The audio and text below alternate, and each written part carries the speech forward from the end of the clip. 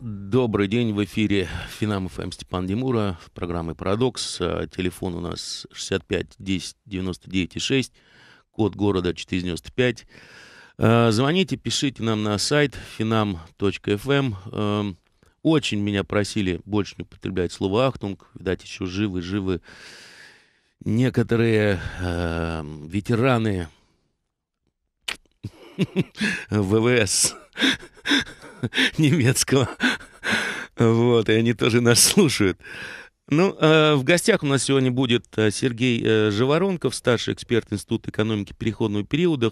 Хотела с ним поговорить и добить таки тему, почему же Россия, а не Китай, потому что э, до сих пор ни один эксперт, приходящий сюда, и пишущий, и говорящий, не смог мне это объяснить э, более-менее доказательно что вот возьмем конец 90-х, скажем, 87-й, 88-й год, была, был Советский Союз, был Китай. Если взять уровень развития промышленности, производственной базы, инфраструктуры, энергетики, всего остального, инженерных школ, то что случилось? Почему Китай, сейчас у него ВВП 5 триллионов, а у нас там 1,2, по-моему, и ничего практически не осталось. Что же произошло? Наверное, здесь уже не, прошло, не просто в экономике дело. Но пока мы его ждем, э, он немножко опаздывает, к сожалению. Э, пришел к нам на электронную почту интересный вопрос, достаточно, ну, стандартный, скажем так, вопрос. Э, пишет Алексей, наверное, да, Олеся, Алексей пишет. Здравствуйте, что сегодня нашему правительству мешает использовать принципы НЭПа, управления экономикой, которые в известный нам исторический период уже доказали свою жизнеспособность и актуальность? Спасибо. Ну, что значит принцип управления НЭП? Это свободная экономика, да. Что нам сейчас мешает? Э, отсутствие конкурентоспособной промышленности и импорт. Что вот вы сейчас можете создать? Ботинки вы будете шить, например, да? Свой маленький заводик по пошиву ботиночек сделаете. Ну, они у вас будут по себестоимости проигрывать китайским ботинкам, а качество, наверное, будет то же самое. Поэтому Забудем об этом, несколько иные времена. А вот потом, что было, потом, как Сталин восстанавливал страну, вот там вот можно, можно, можно покопаться и набраться, наверное, очень много интересного найти и правильного. Ну, я все-таки начну о Китае, о своем, скажем так, э, видении этой проблемы. Понимаете, у Клинтона в его оральном, и, простите, овальном, ну, оральный, понятно, почему кабинет называется, в овальном кабинете, руки я положил на стол, так что не думайте, ничего плохого. Э, стояла такая записочка, говорила с э, ициконами first stupid, дурачок, сначала экономика. Э, так вот, я думаю, что поскольку существовали, до сих пор существует и Гарвардский план, и Хьюстонский план по уничтожению СССР, они были просто приведены в действие, потому что вот те э, питерские мальчики, я не имею в виду Путина, хотя он тоже из Питера, а вот это молодой реформатор, так называемый, был там такой экономический кружок, как мне рассказывали.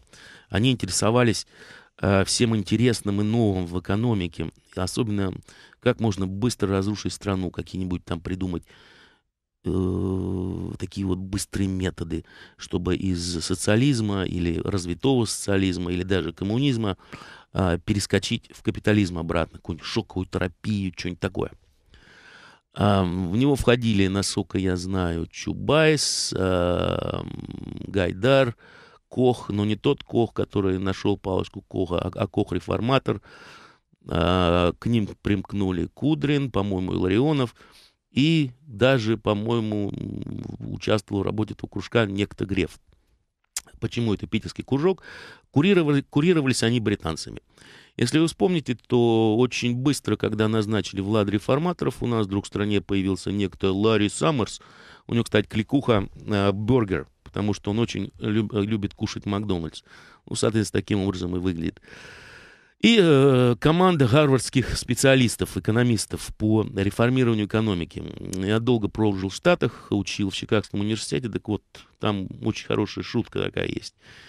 Если вы не умеете читать, то вы идете в MIT. Если вы не умеете считать, то вы идете в Гарвард. Вот примерно так. Но была еще и другая компания, компания э, так называемых реформаторов, которая тоже приходила к Ельцину. Эм, по-моему, это университет э, Беркли. Да, из Беркли они. Это были экономисты, которые в свое время помогли Сухатра превратить Индонезию в развитое общество практически за десятилетия, сделать более-менее развитую экономику с э, минимум коррупции. Но почему-то товарищ Ельцин э, к ним не прислушался, а вот выбрали питерских мальчиков. А если вы посмотрите, то чем занимались Саммерсы питерские мальчики, они занимались планомерным разрушением экономики. А, причем ведь, э, чтобы про провести ваучеризацию, нужно же было сделать, опись всех предприятий, в том числе оборонной сферы. Все это было сделано, вся эта информация Э, была предоставлена американцам. Э, Все это было очень интересно. Наверное, вы не в теме, но люди знающие говорят о том, что когда Ельцин подписывал приказ о проведении ваучеризации, ну, помните, как Чубайс обещал две «Волги» за каждый ваучер, то они должны, быть, должны были быть именными. Но ему подсунули закон, где это было устранено что, разумеется, открыло поле для, в общем-то, разгула тех и легализации тех денег, которые были нажиты преступным путем э, еще в Советском, Союзе, а также для э, мощнейшего притока иностранных денег через э, своих ребят, ребят и людей, которые работали здесь. Я в свое время прочитал очень интересную книгу. Она называлась «Кошер Ностра». Если вы знаете, что такое Коза Ностра, то это Кошер Ностра.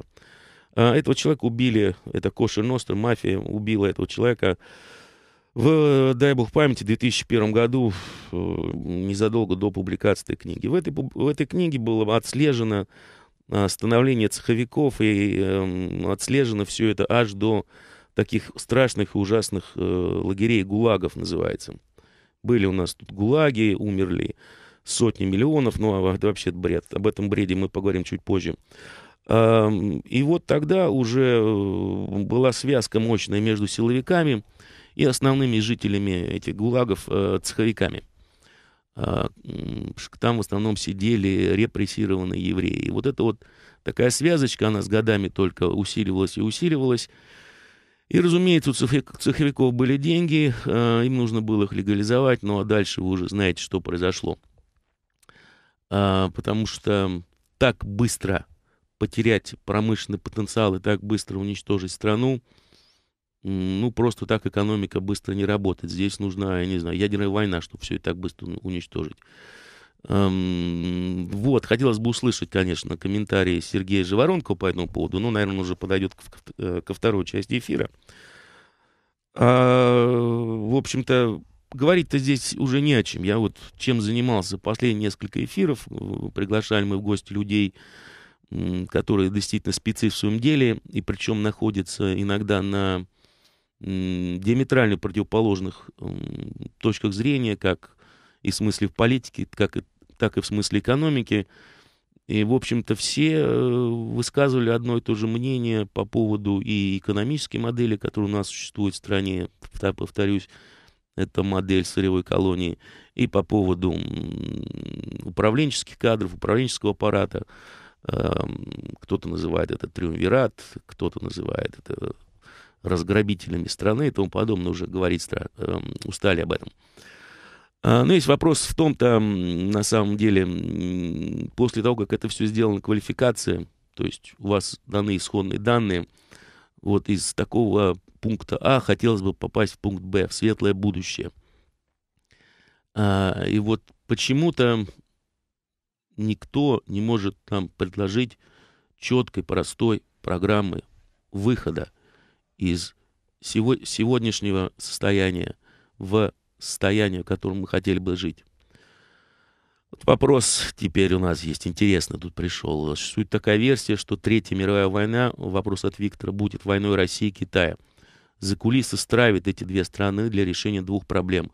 Окончательное решение русского вопроса и для того, чтобы остановить экономическую экспансию Китая чужими руками. Э, ваше мнение? Ну, окончательное решение русского вопроса можно сделать и без Китая. Этим сейчас очень активно занимается наше замечательное правительство. Ну, нам с Китаем воевать будет очень тяжело.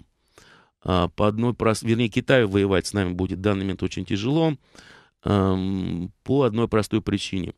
Нужно сдержать Китай в течение, скажем, 10-12 часов, пока они не, не смогут захватить значительную часть суши.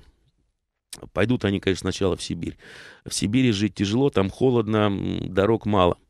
Даже с существующими войсками это сделать можно. А чтобы уничтожить Китай, на самом деле никакой ядерной зимы не нужно. Там достаточно уничтожить всего пару плотин, чтобы треть Китая была затоплена. Но вернемся к этому, на самом деле, очень интересному вопросу после выпуска новостей. Мы снова в прямом эфире. Это программа «Парадокс». Я ведущий Степан Демура. Подключайтесь к разговору по телефону 665 10 99 6, код город 495, или пишите на Финам ФМ у нас есть телефонный звонок, давайте его возьмем. А, Максим? Да, добрый день. Добрый день. А, собственно, вот в связи с вашим вопросом, а, у меня таких вот три небольших соображения. А, первое соображение, насколько я понимаю, у нас малые предприятия и все остальное, бюджеты различных уровней приносят совершенно какие-то копейки смешные, там 1-2%. Потому что, насколько я помню, у нас здесь крупнейшие компании генерируют там чуть ли не половину ВВП, да. А почему э, не сделать регистрацию малых предприятий, например, просто уведомительной и снять, э, ну, освободить от налогов? Это же даст чудовищный скачок просто.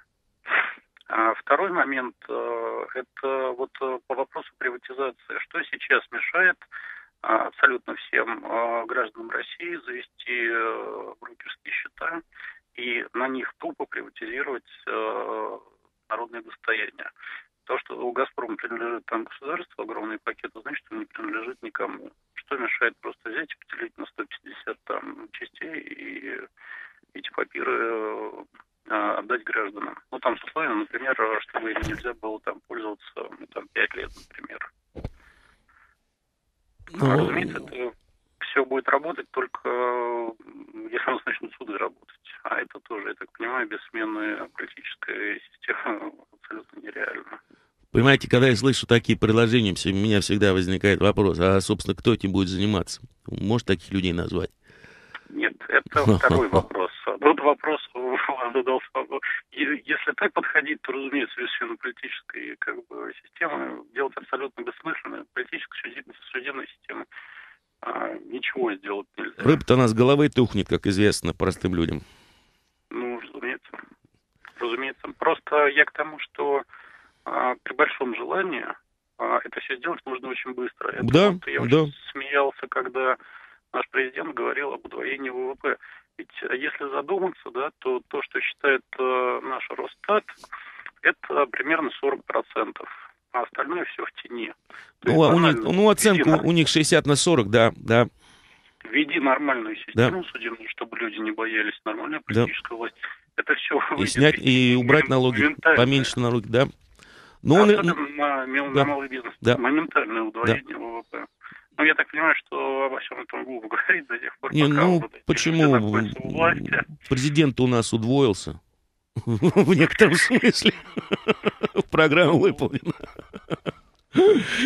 Спасибо, Максим, за ваш вопрос. А, к нам э, присоединился Сергей Живоронков, старший эксперт Института экономики переходного периода. Добрый день, Сергей. Добрый день. Ну, у меня вот вопрос был такой, который меня мучит, вернее, не столько мучит, а я им мучаю экспертов.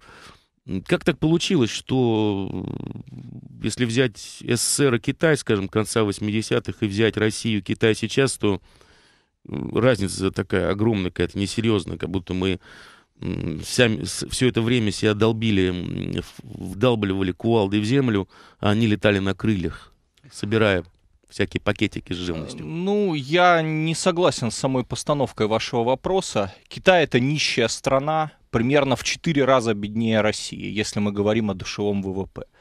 Поэтому каждый раз, когда вы слышите заявление о китайском экономическом чуде, вы должны понимать, что э, душевой ВВП Китая составляет примерно э, 6 тысяч долларов, э, в то время как душевой ВВП России э, порядка 18 тысяч долларов. Да?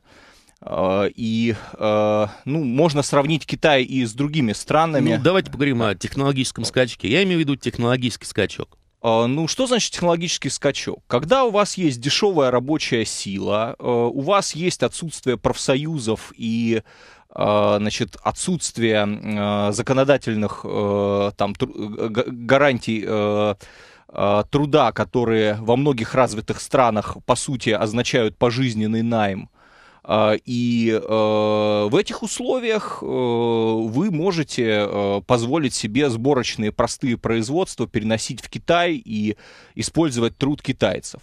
Но обратите внимание, как только речь заходит о чем-то более сложном, мы не можем вспомнить китайских самолетов, мы не можем вспомнить китайских автомобилей. Вот завод в России, который пытался производить китайские автомобили в Черкесске, он разорился, потому что эти автомобили никто не хочет покупать, они не низкого качества.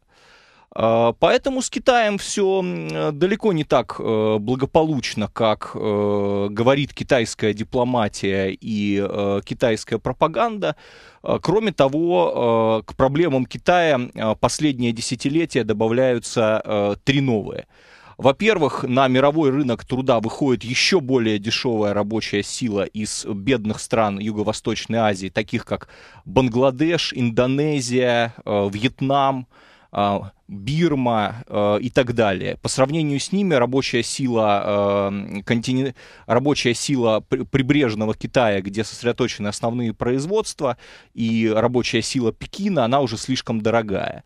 А, кроме того, а, китайцы э, в нулевые годы фактически отошли от политики а, неприкосновенности нерезидентов и уже отмечены аресты предпринимателей, в том числе э, достаточно крупных, ну, например, э, руководителей представительства Рио Тинта, одно, это один из мировых металлургических ну, гигантов. Все это ухудшает э, это инвестиционный все, Я с вами согласен. Китая. Вопро- вопрос-то вот. ставился, сами понимаете, с какой стороны.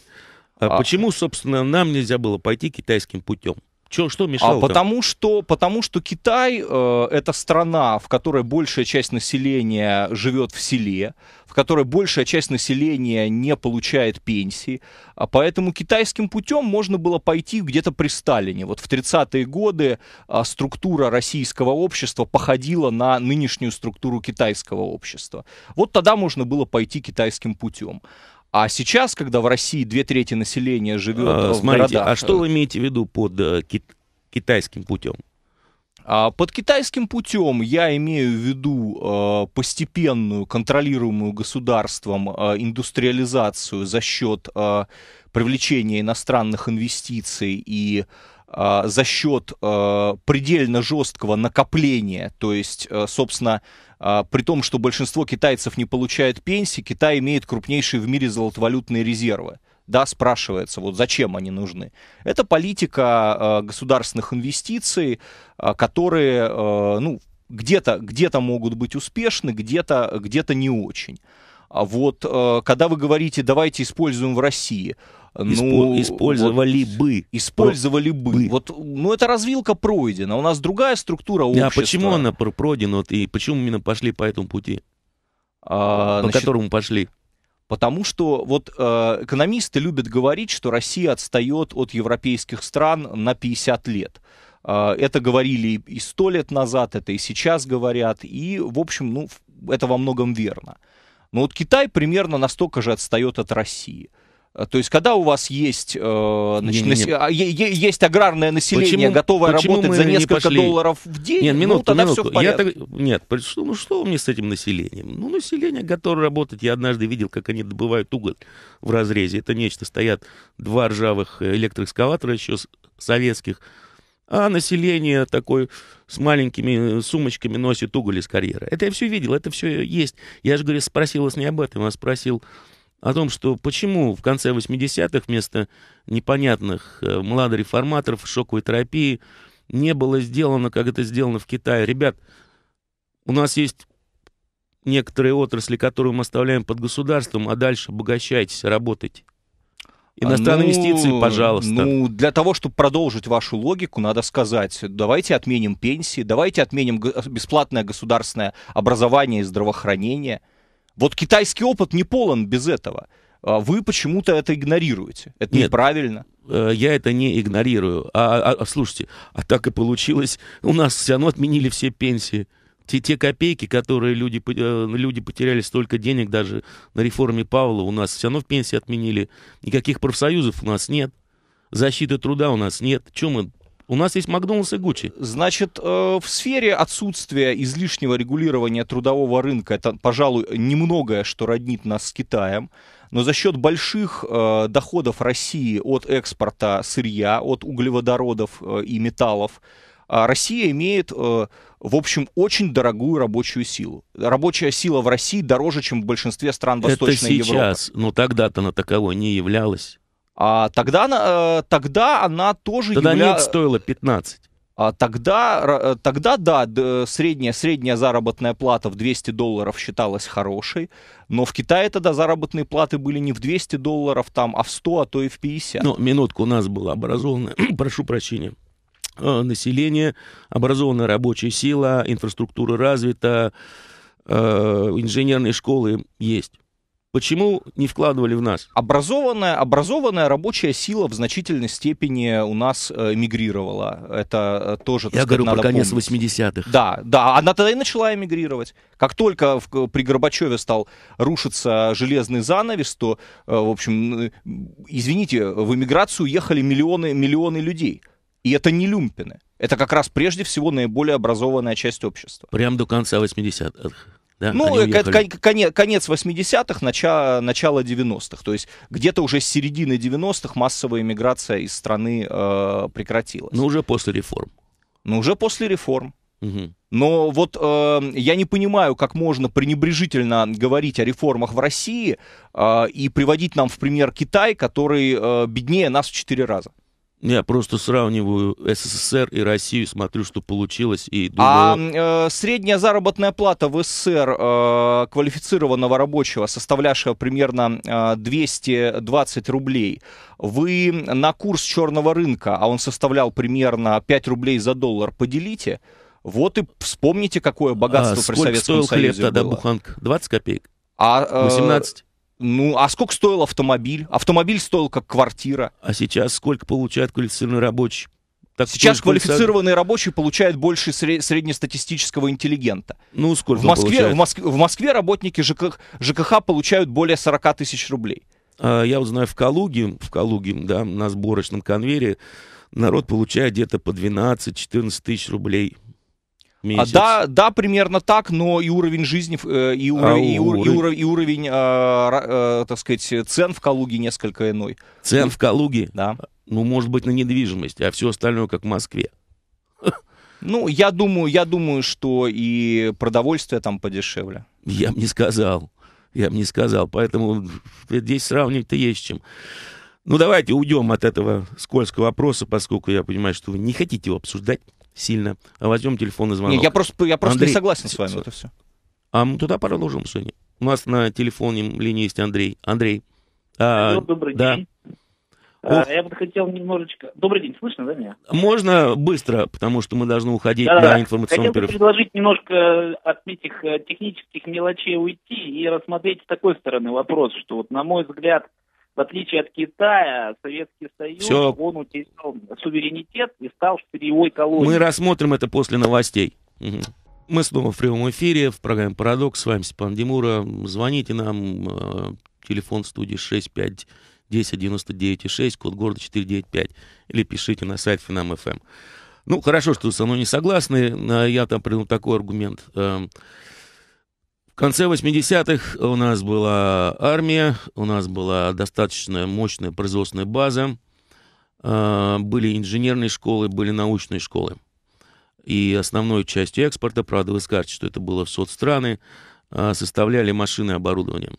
А сейчас, после 20 лет реформ, мы являемся сырьевой колонией, наука практически разрушена, а у нас еще было лучшее образование. Образование представляет собой нечто по Фурсенко, научные школы убиты, инженерные школы убиты. И вы мне еще будете говорить, что я должен к этим реформам как-то по-другому относиться? А, ну, вы, так сказать, так, э, в общем, воспроизвели э, коммунистическую риторику, значит, рассказы а я о потерянном, за коммунистов. Да, да, рассказы о потерянном, значит, так сказать, светлом советском прошлом. Но вы знаете, я 77 -го года рождения, я застал Советский Союз, я имею иммунитет к э, этим рассказам, потому что я стоял в очередях, я помню, как э, невозможно было купить приличные одежды, то, что продавалось в магазине, нет, было просто нет, уродливо. Я с вами согласен. Я помню, я, я помню, когда я помню, как мы, колбаса мы, была дефицитом. Мы получили, мы, мы получили Гуччи и Макдональдс, и, а потеряли все остальное. Вот в чем проблема-то. А, значит, давайте разбираться, что мы потеряли. Значит, мы потеряли э, производство ВПК, которое большую часть работало на склад, а вовсе не на экспорт. Вот, мы до сих пор там впереди планеты всей по количеству танков, э, которые мы напроизводили в основном в советское время. Возникает маленький вопрос, кому эти танки нужны и с кем они воюют. Такое ощущение, что их производить вовсе не следовало в таком количестве. То есть, ну, есть известная шутка, которую, которая, которой, которой, которой пользуются экономисты, что, э, скажем, если вы, э, будучи э, холостым человеком, значит, женитесь, то ВВП страны сократится, потому что раньше вы обедали в кафе, а теперь вам готовит жена. Значит, собственно, фокус с советским ВВП, он был именно в этом – что э, там производилась масса никому не нужных вещей, которая надувала бумажный ВВП в то время как э, востребованные населением потребительские товары э, отсутствовали, э, находились в жутком дефиците. Кстати, я скажу, что одним из не, вот, успехов реформ 90-х, еще, скажем, которые произошли, стало массовое импортозамещение. Ведь если в начале, в конце 80-х, начале 90-х э, там, так сказать, мы ввозили практически все, все продовольствие, то мы стали обеспечивать продовольствием э, себя сами, за исключением буквально там э, двух, э, двух товарных видов, это э, говядина и свинина. А, но э, мы, ста- мы из импортера хлеба э, и зерна превратились в экспортера хлеба, одного из крупнейших. Это все тоже последствия экономических реформ. А при Советском Союзе мы из Канады, из Австралии, из, из США, наших геополитических э, противников, э, покупали у них зерно, потому что свое зерно мы не умели хранить, а оно погибало. А, нет, я не хочу сказать, что в Советском Союзе не было никаких достижений и что а, там э, не было э, каких-то сфер, которые, может быть, стоило бы сохранить. И, скажем, вот э, наука, наверное, относится к э, этой сфере. Но, опять же, э, с, чем, с чем мы сравниваем? А вот э, я вам скажу, что количество книг, именно речь идет о научной литературе, в 90-е стало выпускаться в разы, в разы больше, чем в 80-е. Просто потому, что исчезла цензура. И люди выпустили на э, прилавки магазинов все то, что они писали в стол. Ну, вот, ну, к примеру. Ну и что? Если, что? Э, если мы говорим вопрос, о гуманитарной вопрос сфере. ведь не в этом. Вопрос-то как раз не в этом. А, почему не было плавности реформ? Почему не сохранили то, что следовало сохранить, и не модернизировали то, что следовало модернизировать, а просто взяли все разрушили? А, ну, э, значит, я напомню, что у нас Горбачев с Рыжковым как раз обещали нам э, плавные реформы, и, между прочим, правили они не так э, мало. Они в сумме правили э, там фактически пять лет. Но плавных реформ у них не получилось по э, многим причинам. А потому что в условиях ослабления э, полицейского контроля над страной и сепаратизма провинций, э, э, провинции просто mm. не готовы были э, значит, выполнять в приказном порядке то, что э, им командовали из Москвы.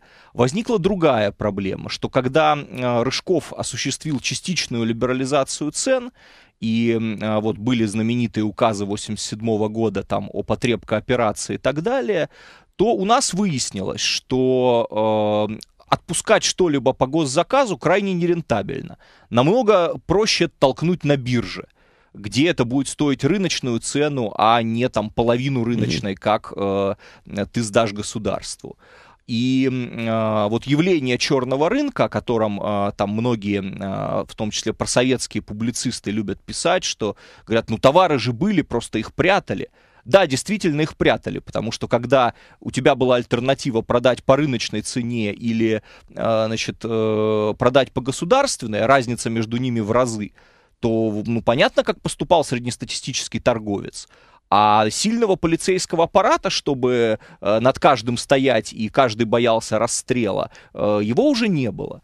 А вот это одна из, э, так сказать, таких, если угодно, экзистенциальных причин того, что происходило. Поэтому нужно было все разрушить. Хорошо, возьмем телефон звонок. А, женщины в первых рядах у нас. Людмила. А, здравствуйте. Я хотела бы вмешаться немножко в разговор и напомнить, что когда говорят вот о Советском Союзе, то надо как-то вот разделять период после войны и период Горбачевских реформ, понимаете? Поэтому вот ваш оппонент, он, вероятно, имеет в виду как раз период Горбачевских времен и период есть, э, извиняюсь, Брежнева, последние годы Брежнева. А у меня, например, ассоциации как раз связаны с 50-ми годами, восстановлением вот этой разрухи послевоенной и 60-ми годами. Поэтому вот я хочу сказать, что ну, совершенно разные эпохи. Эпоха Горбачева и эпоха социализма 50-х, 60-х. Вот надо как-то все-таки акцентировать, что после войны страну восстановил социализм, а во времена реформ он ее разрушил разрушил э, его не социализм, а люди, э, скажем ну, так... Э... Так, да. Ну, наверное, разница-то в чем? Что после войны во власть пришли патриоты, прошедшие войну. Ой, история такая штука, что давайте туда пока не будем заходить. Э, Юрий. Алло, Юрий, вы на линии. Да-да-да. Здравствуйте, пан Геннадий. Да. Я бы вот хотел вопрос задать. У нас ведь э, э, Россия богатая, что углеводородами, что металлами, э, что другими составляющими ископаемыми. А почему, почему вот у нас э, в России нет возможности э, сделать приемлемую цену, э, за счет чего привлечь инвестиции и развивать внутреннее производство? Приемлемую счет, цену, цену на что? А, на вот на эти ресурсы внутри страны. Так у нас внутри и так, страны, пардон, ну, цены приемлемые. Дешевое производство за счет ресурсов внутри страны. Мне кажется, это э, сразу моментально и создаст большое количество рабочих мест, огромное, и производство, и внутренний валовый а, продукт увеличить. А, про, как бы простите, а, а с да, кем, как, как, как вы сможете конкурировать, скажем, с теми же китайцами? У нас а, отнюдь не самая дешевая электроэнергия. Нет, у нас вот отнюдь не самая... Вот вот я и говорю, вот э, сделать все это, ну, приемлемые цены дешевые. Ведь тот же самый Китай, он у нас и э, электричество покупает, и, Слушайте, а... и, и нефть. И у них это все гораздо дешевле. Ну, вы же не понимаете простой вещи. Свой. Вы не понимаете простой вещи. Например, электроэнергия. Там же сидят эффективные менеджеры. Им же уже нужно заработать. Я вам приведу простой пример. Эм, очень интересную, кстати, поучительную историю мне рассказал один из э, сибиряков. Эм, ОГК-5, по-моему, это ИНЛ, если я не ошибаюсь. Э, вот, они, бедняги, ввели такие новые энергомощности, э, по-моему, единственные во всей стране, с нуля построили. Эм, так вот, все было хорошо, пока там сидели менеджеры западные. Как только появились местные эффективные, эффективные менеджеры, их ИНЛ взяла, им куб бетона, железобетона заливали по 30 тысяч рублей. Представляете, да? А, поэтому у нас дешевой электроэнергии быть не может, потому что тариф у нас устанавливается правительством, а генерирующие компании, все сетевые компании, менеджеры хотят хорошо кушать.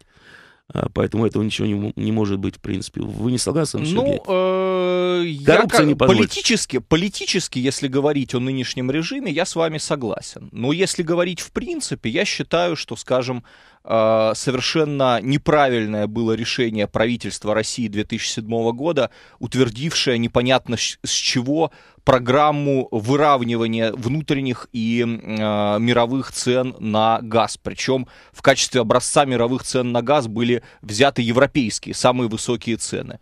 Вот ну, потому мне, что газ... мне, мне, мне, ну, а, Газпром бы, должен зарабатывать Газпром, внутри тоже. Газпром это государственная компания, это не частная лавочка. Это И, кто вам сказал? Э, ну, если, если ну, судить, если, да, если судить да. юридически. Да. Я согласен, что там при там, нынешнем политическом режиме как бы оно несколько иначе но э, государство вполне могло бы э, урезать аппетиты «Газпрома» и э, снизить внутренние тарифы на газ уже сейчас.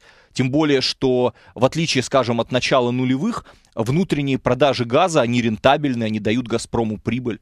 А, то есть, ну, вот как причем бы... Причем не слабую прибыль. Да, причем не слабую. И здесь э, и «Газпром» при этом платит очень низкие экспортные пошлины, в разы меньше, чем их платят нефтяники.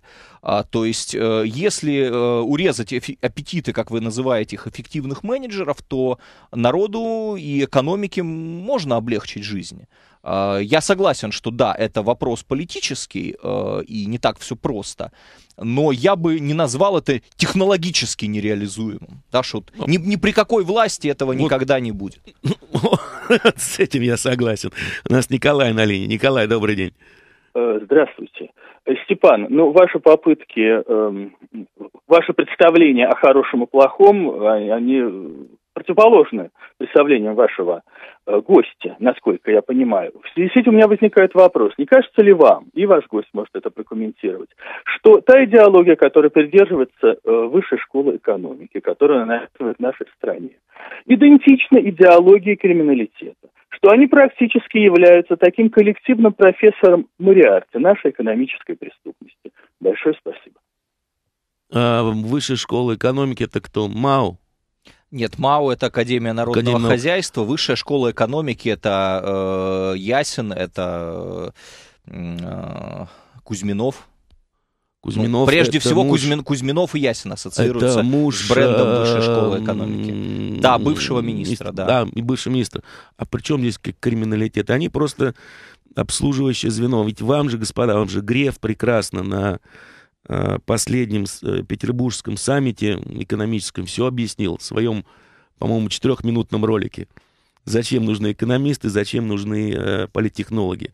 Вы знаете, о каком я ролике говорю, да, Сергей? Я примерно, я примерно понимаю, где, где, где Греф говорит о том, что как же можно доверить власть народу, если вы да, этот имеете в виду ролик. Но у Грефа есть некоторая проблема. Дело в том, что э, его коллеги, с кем он обнимается в Давосе, они-то как раз доверяют власть народу. И там, это, там система политическая устроена иначе. Ну, об этом мы поговорим после новостей. Финам FM. Добрый э, день. Мы снова в эфире. Степан Димура э, в программе Парадокс, а телефон в студии 65 10 99 6. У нас в гостях Сергей Живоронков, старший эксперт Института экономики переходного периода. Вот, Сергей, вы вроде как э, такой рыночник махровый. Я, впрочем, тоже. Я вот не могу найти для себя ответ на простой вопрос. Почему в России все так дорого? Просто, ну, едешь, например, в ту же Польшу, э, продукты дешевле и более качественные причем дешевле, скажем, в два, в два с половиной раза. А, почему у нас дорогие железнодорожные перевоз, перевозки? Почему у нас дорогая авиация? Почему у нас все так дорого? Ну, э... все говорят о монополизме. Я постараюсь коротко ответить. Значит, начнем с того, что в России не такие низкие налоги. Значит, вот э, у нас левые любят говорить, что у нас подоходный налог один из самых низких в мире – но если вы к подоходному налогу добавите социальные платежи, которые, я вам напомню, составляют 30%, причем они сейчас распространяются уже практически на всех, льготы по ним э, отменены, то вы получите 43%. А если вы зарабатываете больше 2000 там, долларов в месяц, э, то еще плюс 10% на сумму, облагаемую вот этим всем. Вы, к примеру, получите, что налоги на труд – у нас не только э, больше, чем э, в э, там, Китае, но больше, чем в Соединенных Штатах Америки. А это, в общем, тоже сказывается на дороговизне. У нас, скажем, э, вот если мы берем столицы, у нас есть трагедия, унаследованная нами от, э, извините, советской власти. У нас есть фантастический дефицит торговых площадей в крупных городах. У нас там количество их примерно в 4 раза ниже, чем в Европе. поэтому у нас и аренда в, э, в разы выше, чем в Европе. А пред, по, поэтому существует дефицит, который постоянно толкает э, значит, арен, а, арендную плату э, вверх. И а почему, почему все это произошло? Э, во всем мире под торговые площади отдаются первые этажи э, жилых зданий. А в советское время это было не предусмотрено, потому что считалось, что люди пойдут в магазин. А, вот, скажем, проблема дороговизны потребительских товаров в крупных городах. Авиация. Здесь я прямо вам скажу, что здесь, да, конечно же, монополизм. Потому что, извините, э, там, если рейс в Хабаровск может быть примерно в два раза дороже Владивостока, то, ну, о чем мы говорим? А то, о чем мы Мне говорим? просто нужно э, отлучиться буквально на две минуты. Соответственно, ага. соответственно, э, при том, что я напомню вам, что Владивосток расположен дальше Хабаровска. Просто там по Владивостоку есть нормальная конкуренция авиакомпаний, а по Хабаровску ее нет. А, и то же самое касается рейсов, э, выполняемых э, и во многие другие города, э, из-за чего люди с удивлением узнают, что у нас, скажем, лететь в минеральные воды по стоимости примерно столько же, сколько лететь в Израиль. Хотя, казалось бы, в Минводы лететь 2 часа, а в Израиль 4.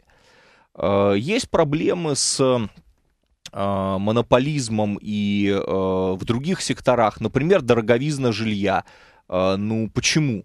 А потому что в Москве за последние э, несколько лет ввод жилья сократился в разы даже относительно лужковских времен, хотя и при Лужкове его вводили не особенно много. Мы наблюдаем в итоге заоблачные цены в Москве и огромную разницу чисто административную. Вот как только вы пересекаете пределы административной границы Москвы, то выясняется, что в соседнем с Москвой э, подмосковном городе цены на жилье значительно ниже, э, чем в э, том соседнем районе, который административно находится в пределах Москвы. Примеров очень много.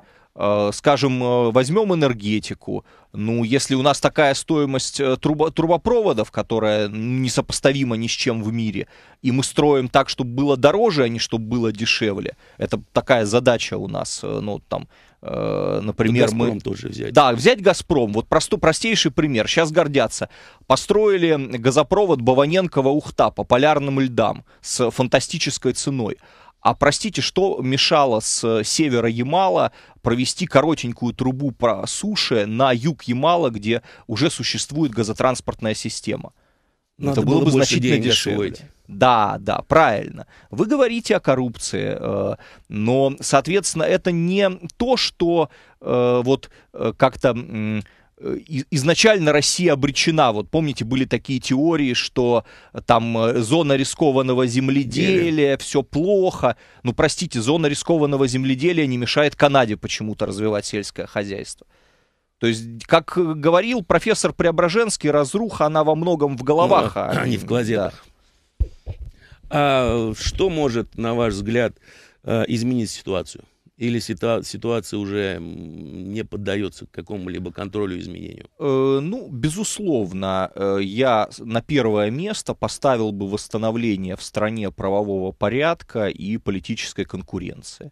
Мы все помним, э, когда у нас там, скажем, по всей стране происходили выборы мэров, когда их еще не стали э, навязывать избрание Сергей, из числа депутатов. Я не об этом Перед говорю. выборами самый Что нерадивый мэр э, э, латал дороги и значит, перерезал ленточки на больницах. А что произойти должно? Ну, вы знаете, я принципиальный антидетерминист. Я считаю, что все зависит от действий людей. Э, я считаю, что люди могут в следующем избирательном цикле избавиться от Единой России. Э, а и, мы доживем, как страна, до следующего избирательного и, цикла? Ну, не так долго осталось, всего-то 4 года. Э, они быстро, они быстро пролетят. Вспомните, как пролетели годы с 8 по 12. Э, нам надо в 16, на рубеже 16-18 года избавиться от Единой России. Нам э, нужна политическая конкуренция ну, на всех нам, уровнях. Нам, нам нужно правовое государство. Нам нужно избавиться от ЦИК тогда, чтобы избавиться а, от Единой ну, России. Я так деликатно скажу, что мировой опыт э, знает многочисленные примеры смены власти не в результате данных, объявленных ЦИКами, а в результате данных, так сказать, альтернативного народного подсчета голосов. У нас на телефонной линии э, Дмитрий. Э, добрый день. Э, здравствуйте, Степан. Здравствуйте, Сергей. Хочется задать такой вопрос. А нельзя ли назвать текущую ситуацию не просто как крайняя форма монополии, а узурпация как экономической, так и политической власти? И как по мнению, а, как по вашему мнению, возможен ли эволюционный способ выхода из этой ситуации? Ну, я бы ситуацию назвал несколько иначе. Э, просто узурпированы средства производства. Эм, при этом, на мой взгляд, режим эм, за все время существования не решил главную проблему. Это вопрос собственности. Легали, э, легализации своей, своего права на эти средства производства. Я очень сильно сомневаюсь, что большинство населения считает, скажем, кого-то из олигархов э, человеком, который обогатился трудом. Это очень важно для толпы, это очень важно для социума. Вы как считаете, Сергей? Ну, я обращу ваше внимание, что у нас произошли э, год назад массовые митинги за честные выборы, а не за отмену итогов приватизации. Это, в общем, глубоко не случайно. Я согласен с вами, народ считает итоги приватизации несправедливыми но у него есть такое представление, что они в любом случае будут несправедливыми, как не переделивай. И народ является сторонником каких-то э, эволюционных изменений. Он не хочет взять все и поделить. Он хотел бы, может быть, чтобы э, нерадивые собственники э, или те, кому слишком дешево все досталось, заплатили бы какой-то компенсационный налог. Такой или может был. быть, или может быть, или может быть повысить налоги на э, те сектора, где существует сверхприбыль, ну, например, на ту же газовую отрасль. А вот э, такие меры народ поддержит. Но я не считаю, что э, весь народ, э, значит, в едином порыве, так сказать, завтра выйдет за э, там всеобщую национализацию. Мы вот видели парадокс, что там, по-моему, на Сахарова там 10 требований было, ни одно, и среди них не было ни одного экономического. Ну, это естественно, потому что это, скажем так, несерьезная позиция. У них нет даже экономических требований, экономической платформы. Ну, э, на мой взгляд. Ну, на, э, я тоже не сторонник фронтменов Сахарова, но я обращу внимание, что тогда существовала некая сборная солянка, там не было какого-то единого центра, единой организации, которая за все э, заведовала. И если бы действительно было массовое движение народа за то, что вот, ну давайте, так сказать, нам, нам нужна национализация нефтянки, например, то эти лозунги звучали бы с трибуны. Я mm-hmm. вот был на Сахарова, я, ей-богу, не слышал там ни одного такого лозунга. Эм, Андрей, вы в эфире, добрый день. Алло, Андрей. Добрый день. Добрый хотел день. продолжить свой вопрос, там из-за рекламы не успел. Mm. Насчет сырьевой колонии, вот хотел гостю задать вопрос, вот чем РФ, на его взгляд, отличается от сырьевой колонии, если рассматривать, что э, сырьевая колония полностью отдает свою территорию под использование метрополии, и население, которое новый порядок не может или не хочет принять, оно уничтожается. Или, как говорят э, современные гиганты мысли, не вписываются в рынок. Вот. Если смотреть на классиков, то и Маргарет Тэтчер, и ее коллеги из Германии 40-х годов, э, они обладали внятными программами насчет России. И вот сейчас, похоже, эти программы выполняются, причем достаточно последовательно. Отсюда рост тарифов и налогов. Причем они таким образом строятся, что в первую очередь бьют по производством. Вот. А торговля и экспорт э, энергоресурсов, они все еще достаточно рентабельны, чтобы даже при этих налогах существовать. И если вот смотреть на факты, то численность населения по сравнению с 91 годом уменьшилась, причем существенно. Если брать данные ЗАГСа, то там где-то 85 миллионов всего живет на территории. 87, да. Да. При этом, если смотреть именно более, скажем так, реалистично, то РФ это вообще сырьевая колония в квадрате, так как первый уровень это Москва метрополия по отношению к остальной части территории, и уже второй уровень Москва колония по отношению к базовой метрополии. И вот пример еще вот э, по дороговизне в РФ. Если вы посмотрите стоимость купе билета на ЖД Витебск-Минск и купите в Беларуси, то билет будет стоить 13 долларов. Если же на этот же поезд, этот же вагон купейный вы попытаетесь купить в России, стоимость будет 130 долларов, то есть цена в 10 раз. Вот, то есть отсутствие какого бы то ни было контроля Понятно. за аппетитами, вот, это полное дает такой Спасибо. результат. Спасибо. Сергей, вопрос к вам. Чем мы отличаемся от, вот он задал вопрос от сырьевой колонии, отличаемся ли вы вообще? У нас ну, буквально 30 секунд с, осталось. Э, сырьевая колония это не ругательство. Норвегию никто не презирает за то, что у нее доля э, сырья в ВВП еще выше, чем в России.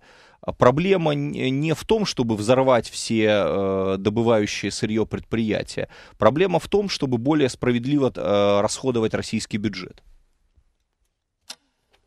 Прекрасный ответ, я с вами здесь полностью согласен, просто кто этим будет заниматься. Итак, к сожалению, время нашей программы подошло к концу.